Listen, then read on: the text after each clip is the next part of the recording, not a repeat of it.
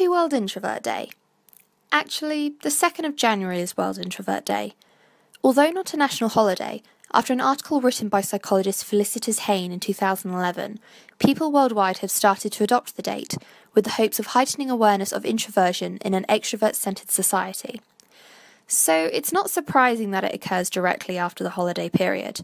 Christmas, Hanukkah, and New Year's, an introvert's worst nightmare when it comes to parties or relatives asking too many questions. A National Introversion Day to recharge introverted souls. In the spirit of the day, here are 10 psychological studies that deepen our understanding and appreciation of introverts. Number 1. Introverts process more information than extroverts. A psychologist named Hans Eysenck developed a theory suggesting that an introvert's brain activity is faster and has a higher amount than extroverts.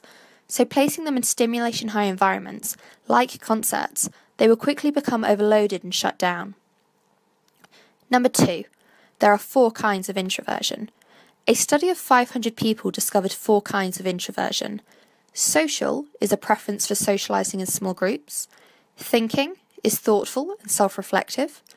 Anxious seek out solitude due to feeling awkward and self conscious around other people. And restrained and reserved are people who prefer to think before they act. While all unique, most introverts are a mixture of all four. Number three, introverts talk more concretely. In 2012, participants were asked to describe the same five photos of ambiguous situations. Those with a higher rating on the introversion scale tended to mention more concrete words such as numbers and specific people, and make more distinctions such as but and except. Number four, introverts are less happy than extroverts. A common fact about introverts happiness is found higher in extroverts not only in Western countries, but also more community based cultures, both equally in Eastern and Western parts of the world. Number five, introverts perceive human faces with the same value as looking at flowers. In 2010, 28 introverted adults had their brain activity monitored to test their levels of P300, with higher extroversion resulting in higher levels of P300.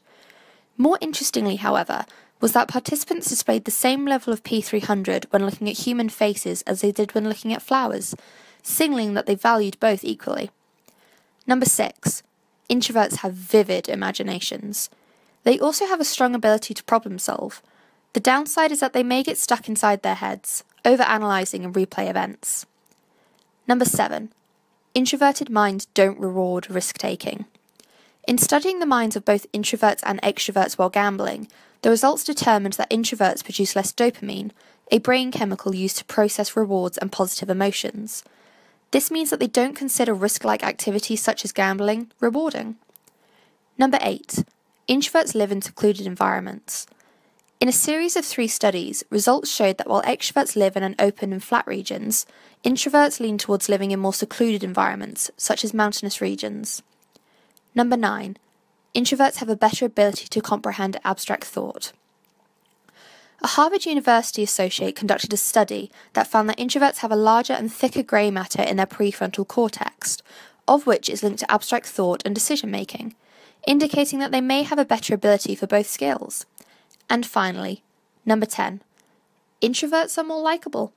While not very social, introverts are commonly the observers in a group, leading to them having a better understanding of people and in turn becoming very likable.